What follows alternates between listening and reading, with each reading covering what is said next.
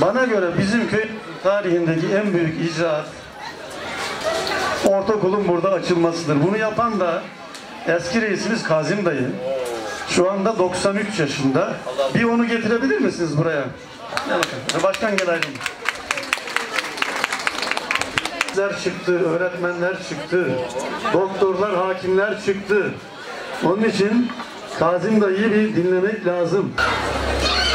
Sayın Büyükşehir Belediye Başkanı, diğer belediye başkanları, sayın misafirler, sayın muhtarlar,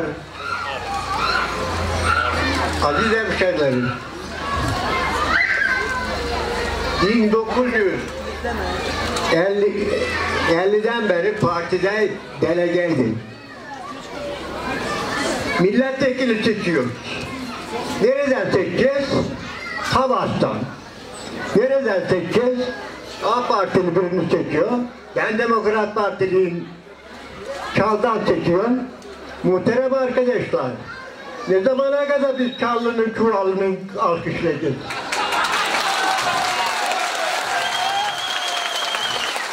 Say- Sayın Belediye Başkanım alınmasın.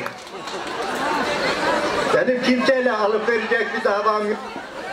Ben eski partili bir yaşlı insanım. Muhterem arkadaşlar. Bakın. Milletvekili seçiyoruz. Savaştan, Acıpayam'dan, Çal'dan, Çuval'dan. Şimdi, şimdi bir yıldız doğdu, yıldız. Yıldız doğdu. İncelerden bir yıldız doğdu.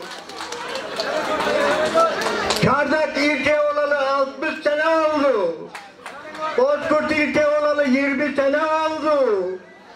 Bulamadık bir temsilci çıkaramadık.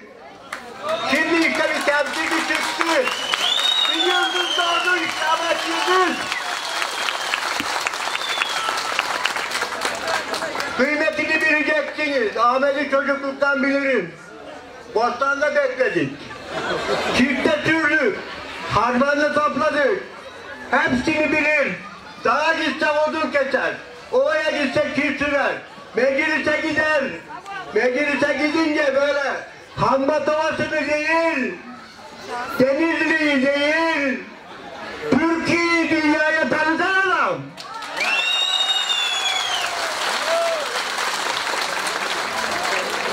Teşekkür ederim. Öğrenecek çok işimiz var. Gerçekten başkanım bize burada güzel bir ders verin yani. Senin yanında biraz kurs alalım. Kurs alalım. Tecrübe çok iyi. Ama ben şunu söyleyeyim. Şu eksik kaldı. Şimdi Ahmet Bey iyi çift sürer.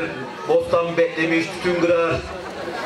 Ama Dışişleri Bakanlığı yardımcılığıyken de dış devletteki temsilcilerle, oraların bakanlarıyla, oraların başkanlarıyla da çok iyi konuşur, görüşür. Ülkenin menfaatlerini de korur. Bostan bekler gibi ülkenin menfaatlerinin başında da bekler. Öyle mi? Hah. İnşallah, inşallah. Bak şimdi.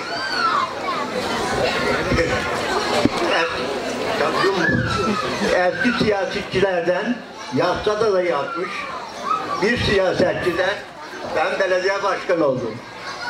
Belediye başkanı olunca bana dedi ki ben çiftçiydim.